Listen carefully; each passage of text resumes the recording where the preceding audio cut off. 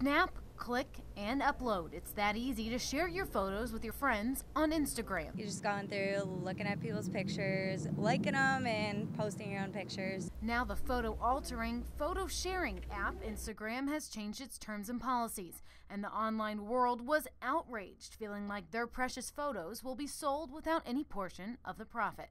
I take a picture of my family, you think, well, I own that picture. And what Instagram is pretty much saying is that by using their app, uh, they own your picture. Lawyer James Battle says not to worry, the likelihood that Instagram will sell your photos is slim. But Battle says anytime you share a photo online, there is a risk. Once it's on the internet, it pretty much never goes away. Instagram announced their policy changes yesterday by placing a link on their application.